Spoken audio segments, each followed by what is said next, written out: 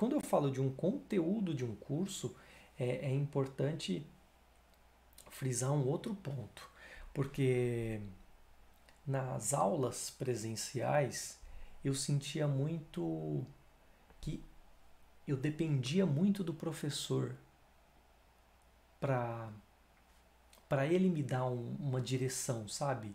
No sentido de mastigar muito as coisas, mastigar as informações, e mesmo ele fazendo isso, eu percebia que ainda havia uma dificuldade ali, enrustida, mas tinha.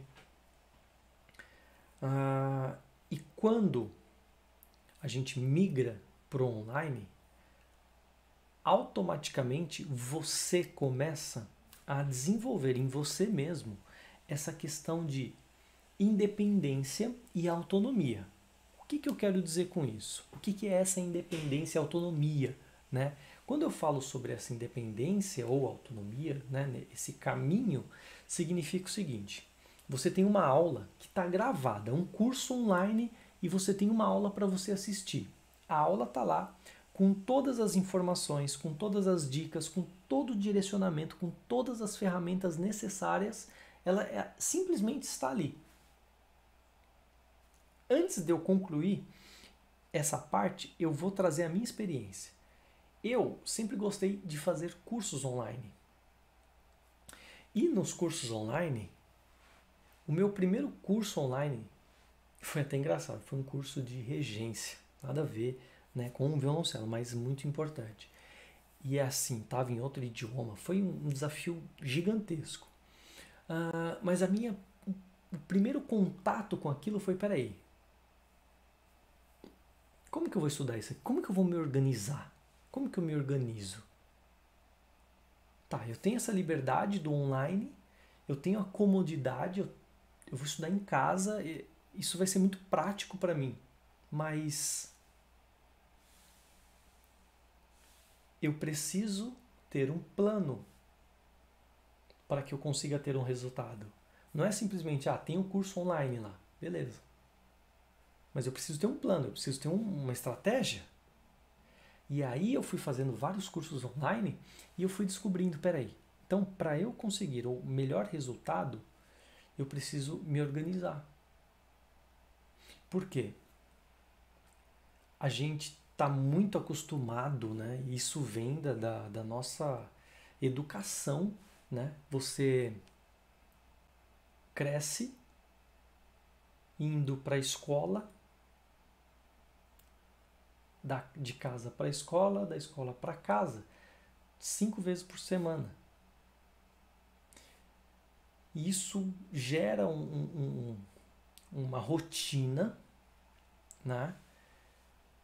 E você, quando você se vê em casa e você tem que fazer tudo o que você fazia lá na escola, você vai fazer na sua casa. O que você fazia no presencial, você vai fazer, você vai estudar sozinho, sem ninguém te ajudar, entre aspas, né? Porque a gente se sente muito assim, e agora não tem ninguém aqui, eu tô sozinho. Aí que entra essa, esse desenvolvimento muito que pessoal, né? Porque você começa a aprender de fato a estudar. Esse que é o, para mim, é uma das essências da, das aulas online. Você aprende a estudar. Porque se você não tiver um plano, você, você tiver um plano, você não vai conseguir desenvolver. E é interessante que alguns cursos oferecem um plano de estudo, onde você sabe por onde começar. Você vai, ah, beleza, preciso me organizar. Quanto tempo eu tenho de estudo? Quanto tempo eu vou estudar por semana? Quais dias eu vou estudar? Qual horário? É, porque a gente tem que ter um cuidado, né, que as pessoas cometem o, o maior erro é, é você.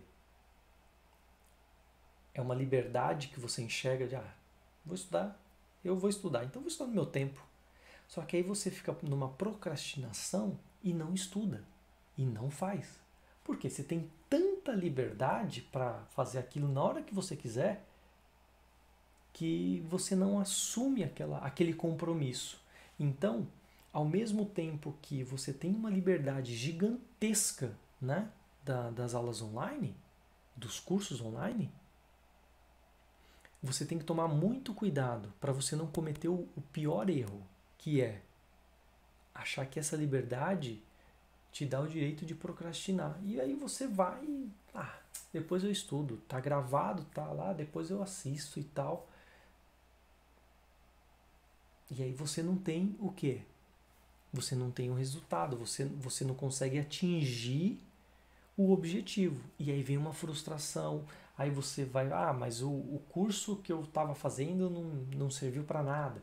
A aula que eu estava fazendo não, não me ajudou. Por quê? Você não estudou, você não, você não se aplicou aquilo. Então, eu acho muito mais hoje a minha cabeça mudou muito e eu acho muito mais potente as aulas online porque elas de certa forma elas te te direciona para que você planeje melhor o teu estudo. Você vai encaixar o estudo daquele curso, daquela aula dentro da tua rotina. Qual o melhor horário que você você qual o melhor horário para você estudar? Qual horário que você rende mais, sabe? Então isso é muito importante, você ter isso em mente, porque você começa com essa organização para encaixar o estudo e aí você começa a ter uma produtividade impressionante, porque você ganhou tempo. O vídeo está gravado, eu assisto 10 vezes a aula, 20 vezes. Eu capto aquilo, eu vou fazer junto, eu vou estudar. Então você tem uma evolução muito grande. E aí você desenvolve em você essa independência, né? Você, se, você desenvolve em você a autonomia de poder fazer acontecer, fazer com que esse conteúdo fixe melhor, fixa melhor né? na, na tua mente e, e você tem um, uma evolução muito grande.